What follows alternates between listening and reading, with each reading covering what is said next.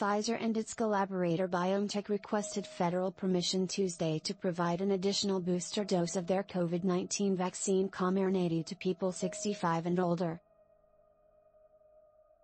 The request is based on data from Israel during a recent Omicron outbreak there.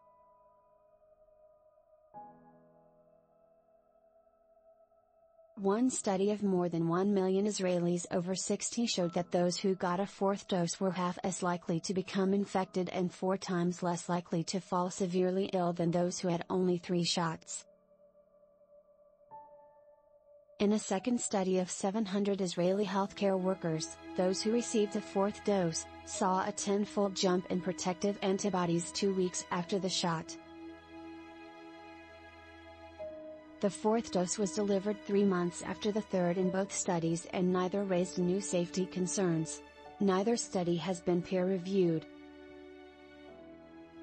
Other studies show that effectiveness against both infection and severe disease begins to fade about three months after a third dose, so another dose may be needed, particularly in older people who are at highest risk for severe disease.